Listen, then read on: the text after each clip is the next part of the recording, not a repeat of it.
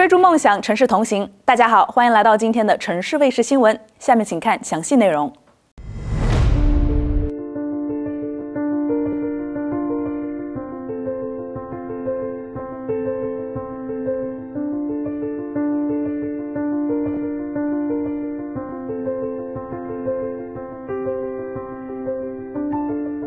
Mr. President, what has it been like working under these conditions?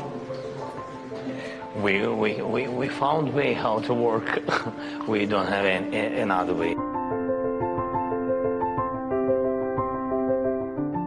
作为冷战产物和全球最大军事联盟，北约长期固守守旧的安全观念，以旧冷战的手法搞阵营对抗，沦为个别国家谋求霸权的工具。北约口口声声声称自己是防御性组织，实际上却在不断的制造对抗、制造事端。北约要求别国遵守国际关系基本准则，却肆意对主权国家发动战争、狂轰滥炸，导致无辜平民丧生和流离失所。北约明明是北大西洋的军事组织，近年来却跑到亚太地区耀武扬威，挑动矛盾。北约持续突破地域和领域，鼓吹集团对抗的新冷战，国际社会对此理应高度警惕，并坚决反对。中国的发展是全世界的机遇，不是任何人的威胁。北约应该立即停止散播针对中方的不实之词和挑衅言论。放弃以意识形态划线的对抗性做法。北约已经搞乱了欧洲，不要再企图搞乱亚洲，搞乱全世界。 I'm looking forward to our discussions today, Mr. Prime Minister. Our continued consultation and dialogue are key to ensuring the U.S. Indian relationship continues to grow deeper and stronger.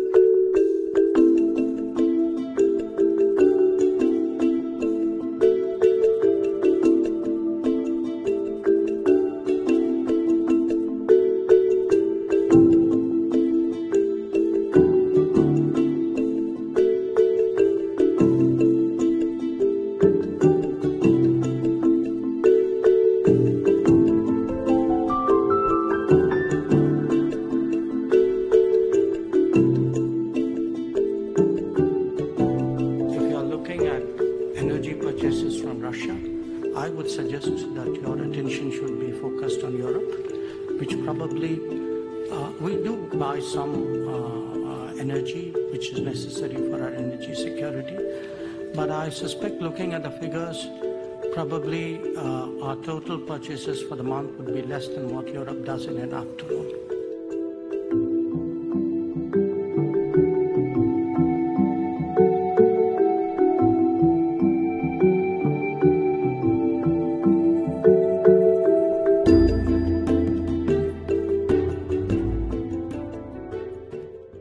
我注意到了相关的民调，这反映了大多数人的正义呼声。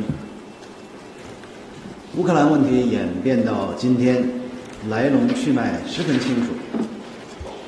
以美国为首的北约的所作所为，一步步将俄乌矛盾推向了火山口。美国不仅没有采取缓和局势的实际行动，反而不断拱火浇油，激化矛盾，逼迫各国选边站队，制造非友即敌的寒蝉效应。这不是霸权霸凌是什么？乌克兰问题暴露的美国霸权霸凌行径，只是美式霸权的冰山一角。美方固守冷冷战思维，热衷以意识形态划线，大搞封闭排他的小圈子，挑动对立对抗，其真实目的是延续自身霸权强权。美国惯于打着民主、自由、人权的幌子，通过发动颜色革命等手段，挑唆地区争端。甚至直接发动对外战争，加剧地区和全球安全形势紧张，谋取巨额经济利益和地缘政治优势。美国还动辄挥舞单边制裁大棒，打压遏制他国，大搞经济胁迫，严重破坏全球产业链、供应链稳定。美国对国际法。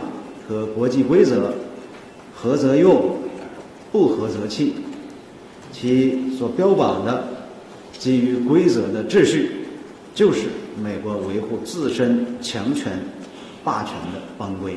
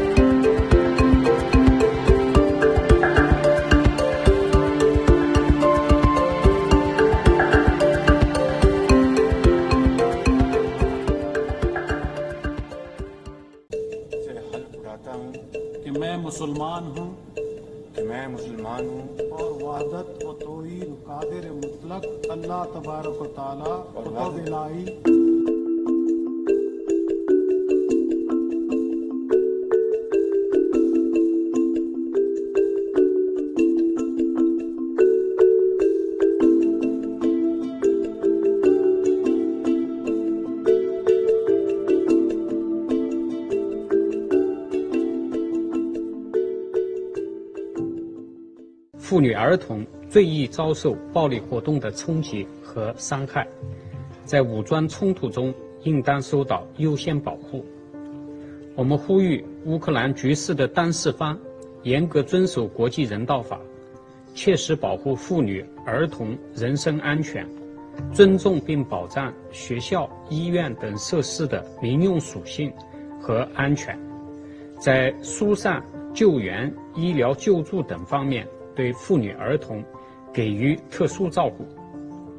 中方对克拉马托尔斯克火车站的袭击造成包括妇女儿童在内数十名平民伤亡感到痛惜，事件的相关情况和具体原因必须查清，任何指控都应以事实为依据。McDonald's 香辣鸡肉酥脆多汁，定能让您的味蕾爽翻天。限时回顾优惠中，六块 Spicy Chicken McNuggets 只要两块半，或选择附有 Spicy Pepper 酱的 Spicy Crispy Chicken 三明治，价格与参与活动的店家可能有所不同。结合疫情防控和生活物资保障的实际的需要，本市的超市卖场相关网点的解封工作呢，将分区分类稳妥推进，把严格落实疫情防控措施的生活物资的供应节点网点。解封出来，对封控区和管控区建立保供的白名单，必备的超市、卖场、便利店、药店等网点中的非涉疫网点，凭保供企业证明向所在区商务主管部门提出申请，经审核后，由各区商务主管部门将网点白名单抄告各街镇，予以解封。对防范区，除商场、超市、药店等基本生活必需物资供应场所之外，其他非必要商业场所的运营活动暂不恢复。大型连锁餐饮企业逐步恢复营业，暂停堂食，实行线上订餐、线下配送。处于风控区和管控区。恢复营业的商业场所，落实每日为工作人员开展一次抗原检测和核酸检测，按规定强化个人防护。员工应集中居住，闭环管理。固定服务区域加强健康监测，按照重点场所消毒的要求，对重点部位通风设备。做好环境的消杀工作。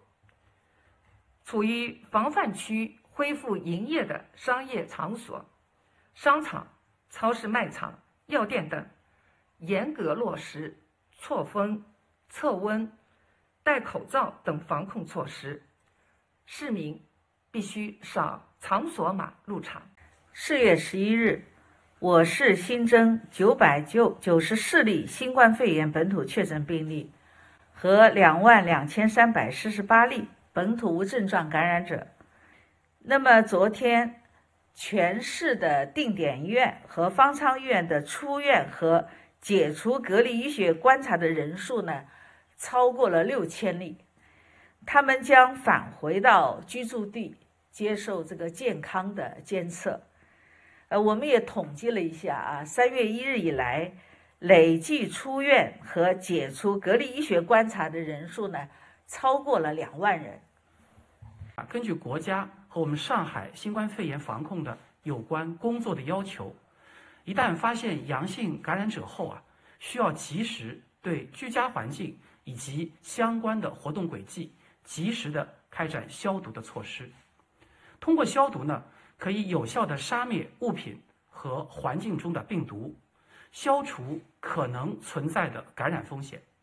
那么，对于出现阳性感染者的楼栋啊，应该从以下三个方面呢来做好规范的环境消毒。第一呢，是阳性感染者的居家的消毒。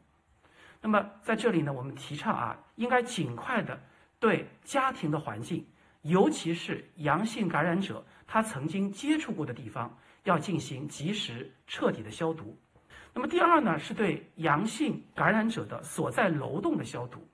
那么物业呢，在接到小区啊，呃阳性感染者的报告以后，应该立即组织啊，对阳性感染者所在的楼栋啊，要进行及时的消毒。那么重点的，呃，是针对阳性感染者他曾经经过或者是接触过的啊一些地方。那么在这里呢，重点呢，包括了比如说我们的电梯的按钮啊，我们的扶手。以及我们的门禁的呼叫按钮啊，这些公用的部位。那么第三呢，是对阳性感染者所在小区的公共区域的消毒。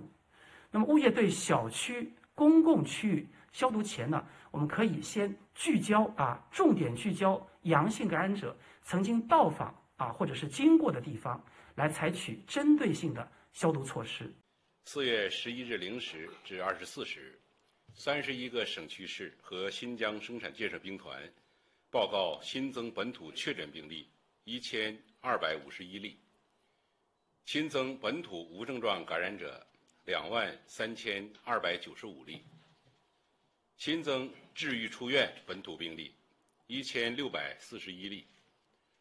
当日解除医学观察的本土无症状感染者两千五百二十例，其中上海新增治愈出院本土病例二百七十三例。当日解除医学观察的本土无症状感染者三百八十例。自二月二十六日以来，上海市累计治愈出院本土病例九百八十六例。累计解除医学观察的本土无症状感染者四千八百七十三例。当前，疫情仍在高位运行，波及范围进一步扩大，防控正处于关键紧要时期，要继续坚持动态清零总方针，不犹豫、不动摇，坚定信心，更加坚决果断，把各项防控措施落实到每一个环节。要以快制快，加快核酸检测、方舱医院建设、感染者收治，尽快阻断社会面传播。要强化风险管控，快速筛查，找出潜在传染源，及时转运隔离。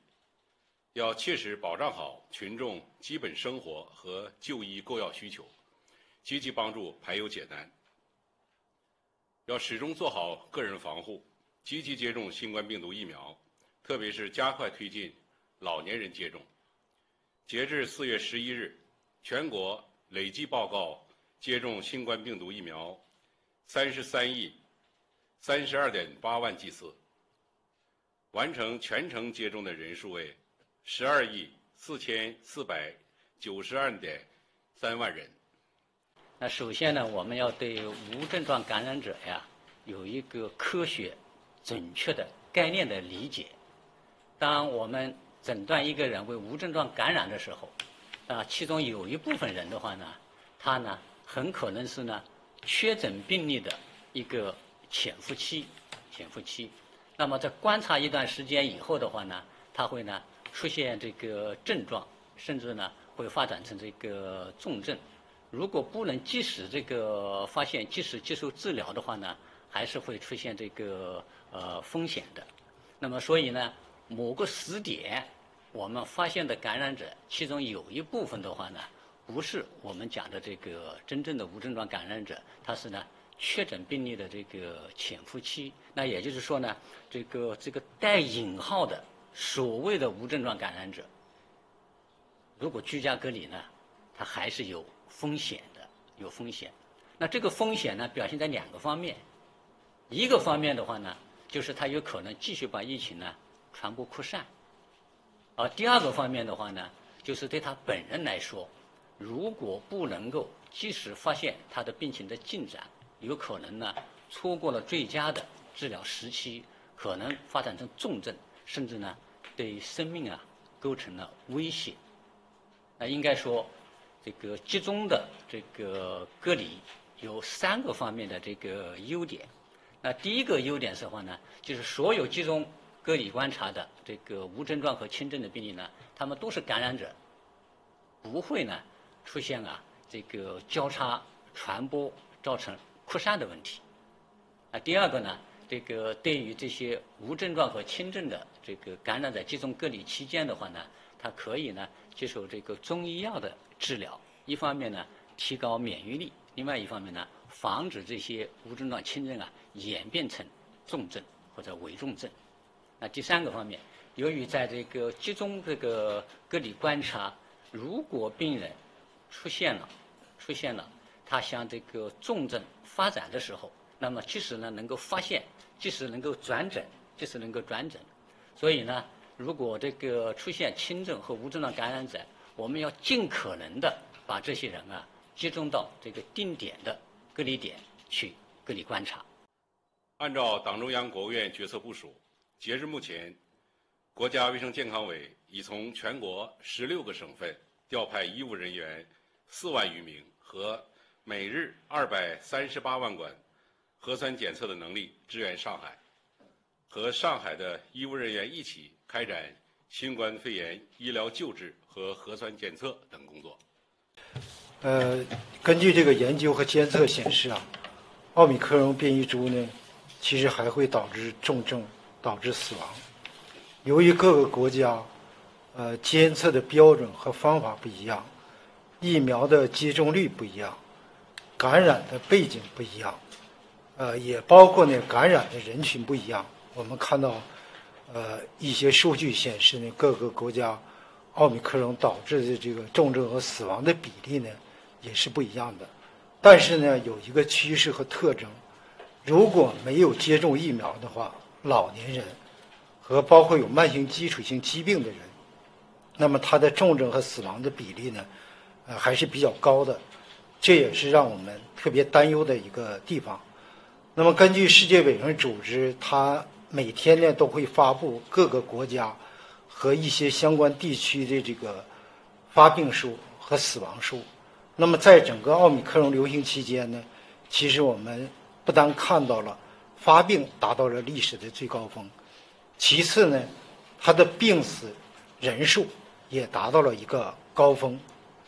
那么，另外呢，我们可也看到有一些国家或者有的地区，那么它的病死数呢也达到了历史的一个最高峰。那么，像美国，在奥密克戎流行期间。那么，它连续五周，呃，报告的新冠病死数呢，超过了呃一点五万例。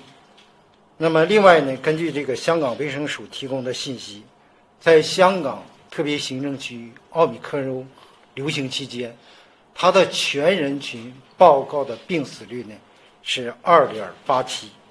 那么，没接种疫苗的八十岁以上的老人，他的病死率呢？高达十五点六八百分之十五点六八。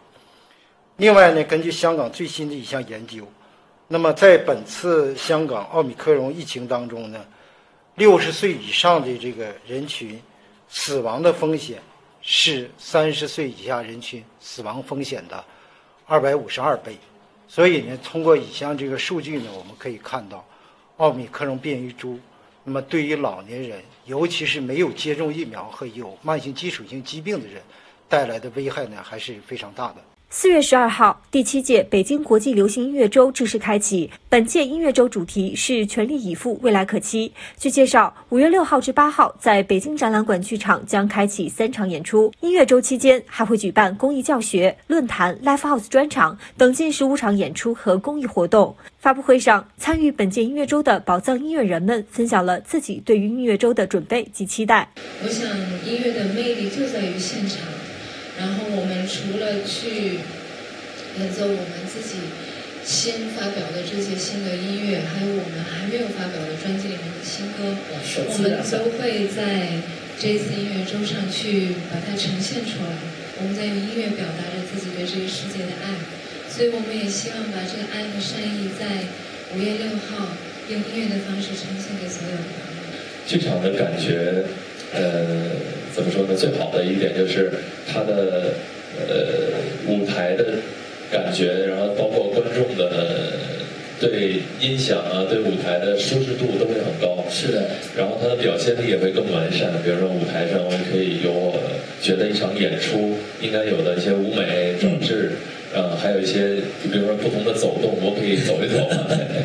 然后剧场的对于我的音乐风格，我觉得也是更合适的。在本届音乐周舞台上，陆先森乐队将带着全新的音乐主题“后毕业时代”与观众见面。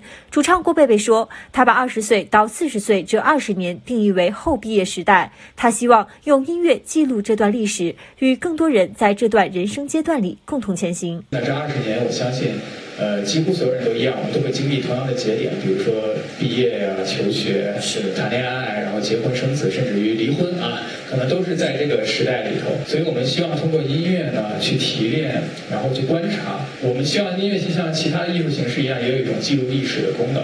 所以也是希望通过这样的方式能够去分享。音乐周还特别开设了 Live House 演出季单元，将于四月十三号至二十一号登陆将近九，十二组新锐乐队轮番登台，呈现摇滚、朋克、释放、舞曲不同风格的演出。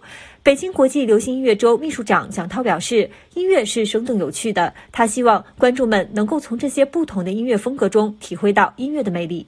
音乐呢，就是乐于人，它是让这个人呢，这种身临其中，得到放松，或者互动，或者张扬，或者热烈，各种情绪都有这种不同的对应的音乐氛围。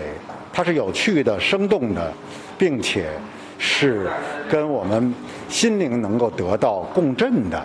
这也是我们举办流行音乐周的最大的初衷。追逐梦想，城市同行。以上就是我们今天的城市卫视新闻的主要内容。更多的新闻消息，请登录 icdnews.com。我是张悦，关注城市卫视，每天与您相伴。